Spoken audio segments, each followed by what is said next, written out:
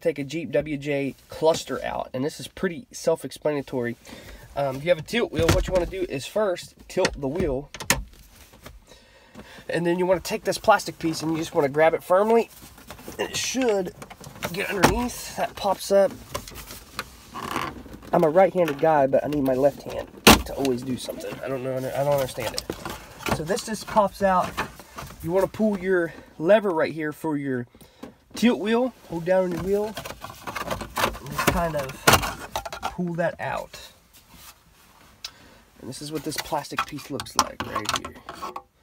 Alright, so you're going to have a Phillips screw here, and a Phillips screw over here, and a Phillips screw up here, and up here.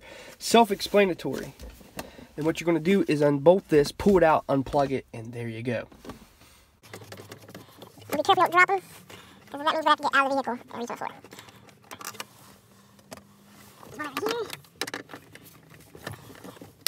It's actually pretty tight for plastic screws, or plastic screws. It's actually pretty tight for holding plastic in.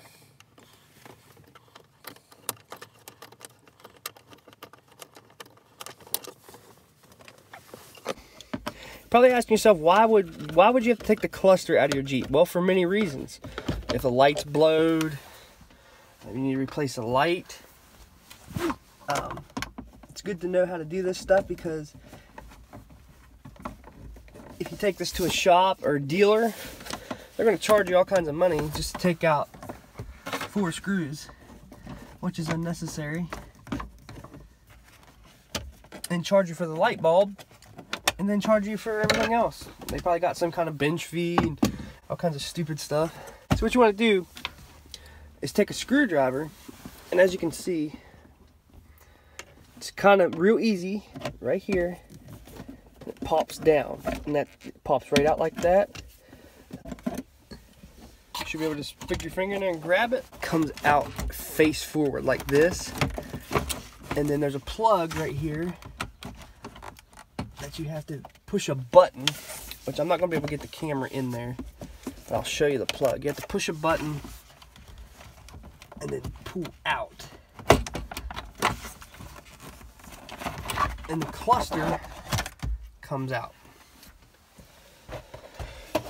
Now the plug that I'm talking about is right here. It's just like this when it's in the cluster. It's in the back like this, and this button's right here.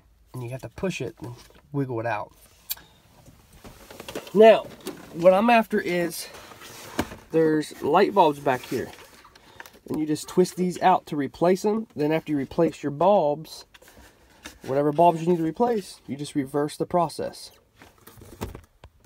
Now don't freak out if you have ones that like the bulbs are missing because sometimes some Jeeps don't have whatever that bulb is.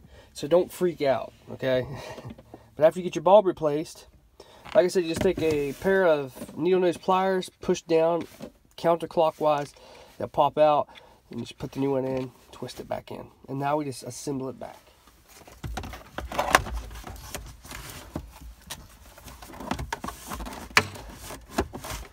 Make sure you plug your plug back in. Do not forget that. It's kind of a pain. But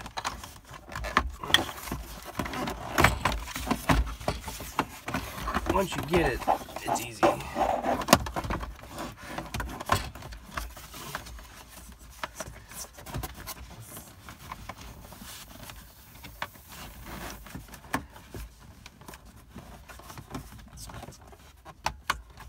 does require two hands. And you push it until it clicks.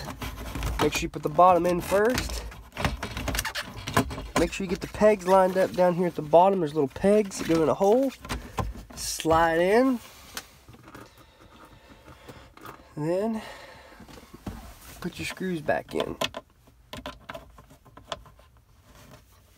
I like to put them in with my hand. That way I don't lose them when I go to tighten it. Instead of putting them on the screwdriver.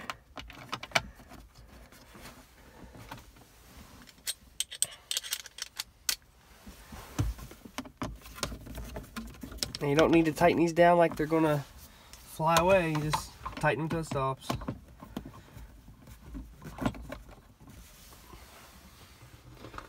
Same thing with the bottom.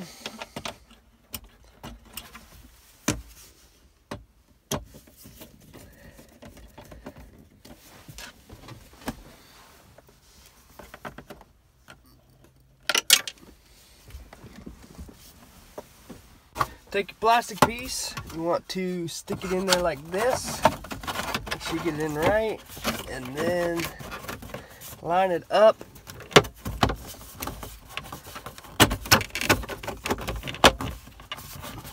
Press firmly. Put your wheel back up where it belongs. There you go. That's how easy it is pretty self-explanatory. The easiest cluster I think I've ever done. Uses like 13 wires back there you got to unplug. Just one wire. It's so simple.